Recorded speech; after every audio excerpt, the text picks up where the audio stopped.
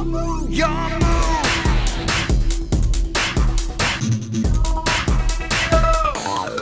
everyone, this is Henry coming to you from the Bemani Lounge Studios, and today I have for you guys a Salamangreat Deck profile, but it isn't just any Salamangreat Deck profile, it is Sky Striker Salamangreats.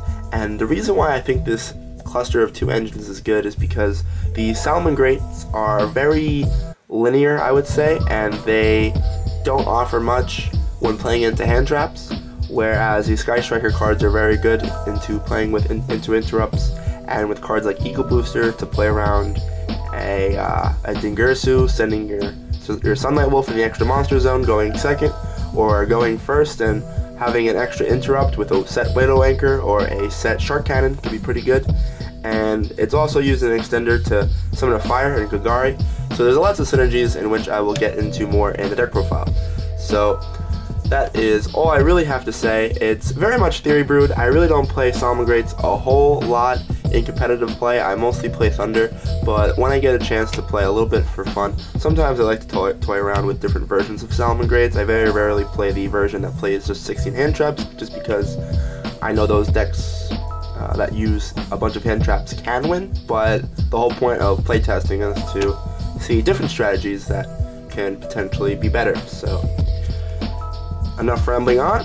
For the Salamangreat list, we play three Foxy, three Spinny, and one Gazelle, of course accompanied with the one of Jack Jaguar and the one Falco. So not too much to say here. I don't play Sea Archiver in this list, so there's a little bit more dependency on Foxy and Spinny, just as level 3s.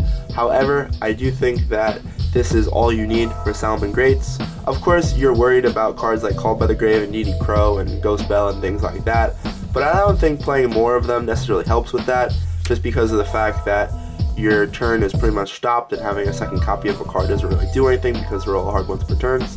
So I don't play Desires, so I think one Jack Jaguar is fine. You don't want to brick with them. And then of course one Falco to occasionally make a Dweller, but mostly to set your Roars and Rages and stuff like that. So that's it for the Salamangreats.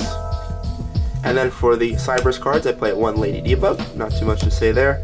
Three Flame Buffalo, I think that this is the best normal summon in the game, just because all of these cards are extenders, so this just literally gets you two cards for free. So if you build your deck to just play a bunch of extenders like Will the Salamangreats, this card is really good.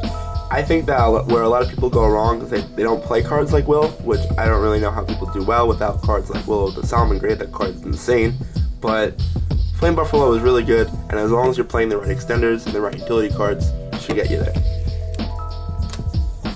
Then, for the final engine card, is 3 Microcoder.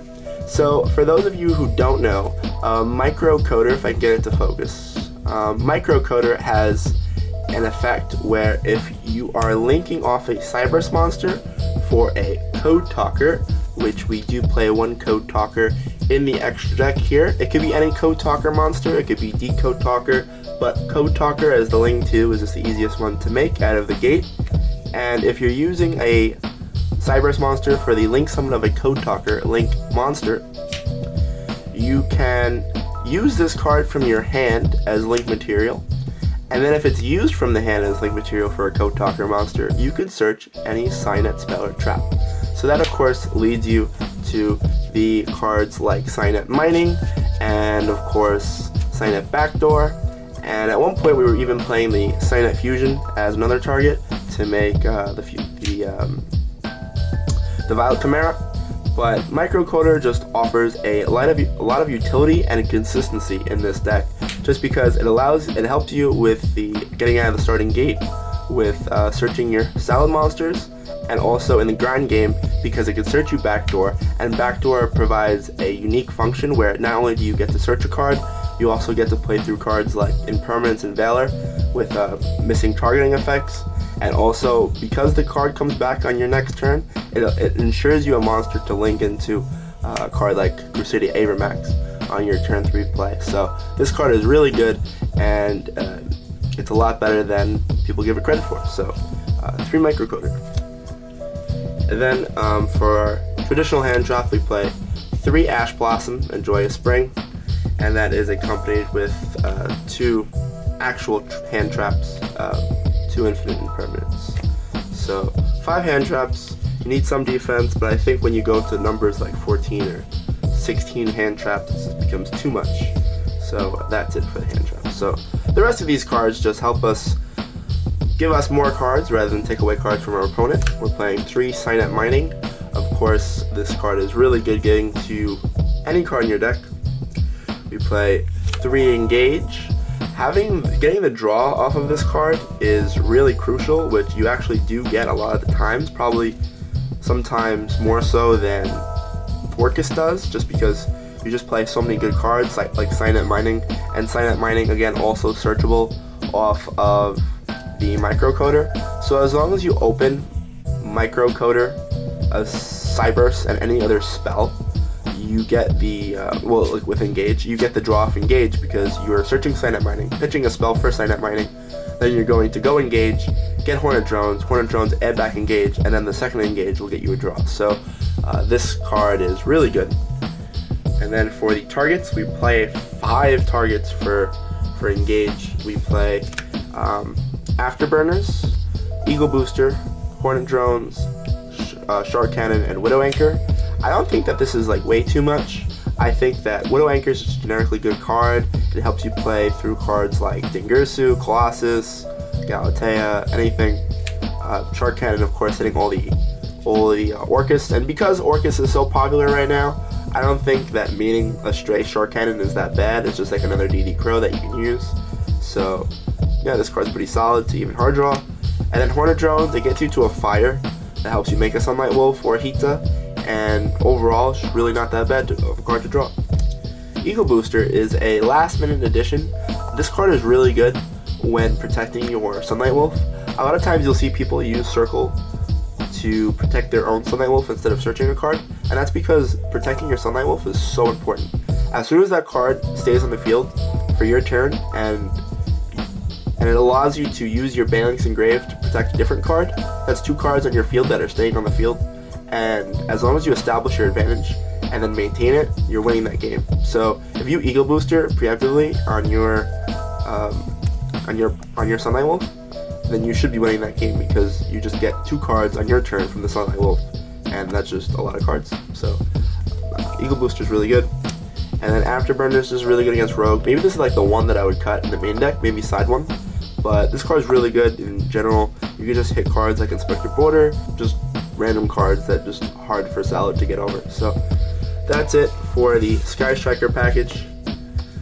And then for um, Superior Extenders, we play Two Will, this card is just way too good not to play. I think this card is like one of the reasons why Salamangreat is so good. This card is like almost a better soul charge for Salamangreat just because of the fact that turn one, it's a good extender to have just to ensure your play, especially if you get hand trapped. But then like turns two or three, this card becomes soul charge. Like it's insane. It's like very similar to how Instant Fusion is in Prank-Kids. It's like really good. And then for the rest of the one-ofs, we play Salamangreat Circle. Of course, it's a good starter. Cynet Backdoor. Really cool thing you can do with Cynet Backdoor is like you can you can go into Code Talker and then search Cynet Backdoor for the microcoder, then backdoor your Code Talker, and you could search like a Foxy or uh, you could search another microcoder. And then like you could just end with like so many cards in hand, and then if you have one extender, you could just still do your play. But especially if you if you have engaged, you can play conservatively and end with like six cards in hand with like two sets, and then on your on your um, on your next turn, turn three, you get your code talker back, and then you can immediately go into like a Hiita or something like that. It just lets your lets your grind game a lot better as well. It's a good card to draw in the grind game. So uh, Cynet the back door is pretty good. And then of course we play uh, one upstart for consistency, and then as a um, as an engine requirement, we play the Sanctuary. And then, of course, the last two cards are a Roar and a Rage. So, nothing too extravagant there with the Salamangreat cards. We more or less let the Sky Striker cards do the work for us. And then for the extract, it's a little bit different. For the Link ones, we play one Kagari. It's really cool as a fire. Fun fact, you can recycle this back with Sunlight Wolf and then get your drones off again like turn 3 and then get another Kagari, add back another engage, and because you play so many targets your engages are never dead, so Kagari is pretty solid. and then Linkuriboh. The reason why I play Linkuriboh is because if you open with uh, nothing except for Engage and Microcoder, or if you open drones, you, can search drones with Engage, and then you can Hornet drones, summon a token, and since it's a level 1, you can turn it into Linkuriboh, and then you can link off the the microcoder and the Linkuriboh for a code talker, and then because this was used as link material for a code talker, then you get a search for Cynet mining. And the reason why you need to play Linkuriboh is because you need to use a Cyberse for the link summon of a code talker for microcoder to go off. So that's why you play that. And then you play two Balelynxes. Unfortunately, only two. I wish this was more. However, you can't really fit it in the extra deck space with playing the two targets for the uh, the Sky Striker package. So, two Balelynx only. Three Sunlight Wolf is just, you need to play at three. And then, of course, the Hiita and the Phoenix. Nothing much to say there. And then, of course, the Code Talker as sort of a requirement for playing the microcoder.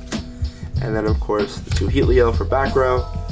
I think almost a staple at this point in Salad is Avramax. The reason why I think this card is so staple in Salad is because of the fact that it's like the best card that you can use after going into a Heatleo and spinning a card.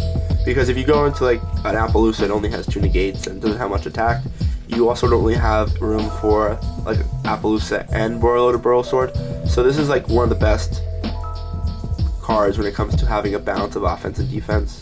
Just an overall good card and you have like easily access to extra cards with Balelynx and and Code Talker and things like that. It'll never be dead. And then uh, the two XDs that you might expect, the Stallion the Dweller. So anyway, guys, uh, not too much to explain here. If you guys want in-depth explanations, you guys could put it in the comment section below. This is my first video on Bemani Lounge, and because it is, I want to take an opportunity to say uh, thank you for welcoming me to the channel. I hope to see you guys in more of my videos and hearing back from you guys. And if you guys want even more in-depth explanations on my card choices or just ask me questions in general about the game, you can join the chat in Bemani Lounge. We can link it in the description below and hope to hear from you shortly. I'll see you guys soon. Peace guys. Peace.